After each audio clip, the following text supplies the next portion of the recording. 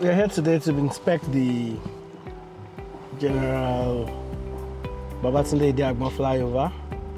And yes, work progresses. We're still trying to ensure that we meet up with the deadline.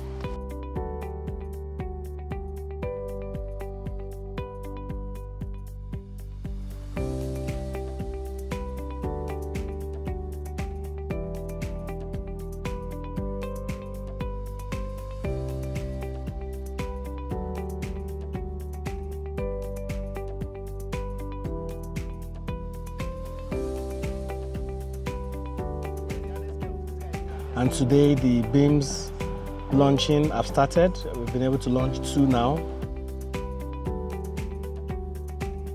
All beams will be up and that will uh, kickstart the slab, which is the deck that will be at the top.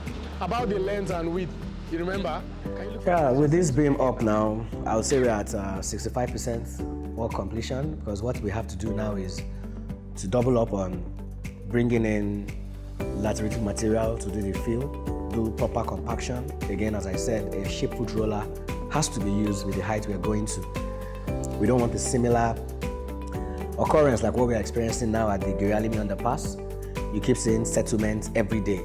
We want to make sure in terms of engineering, we deliver one of the best projects ever done in Kwara State. And work also continues on the retaining walls to ensure that we have uh, everything in, intact. For the ramp, earthwork continues also to ensure that nothing is left out. Night work will also resume. Uh, in another one week, we should open up the flyover road so people going to University of Ilorin and who come in will have better access. Then there'll be less pressure on the alternative routes that we created. But as I've always said, in Law, we don't stop. Work continues.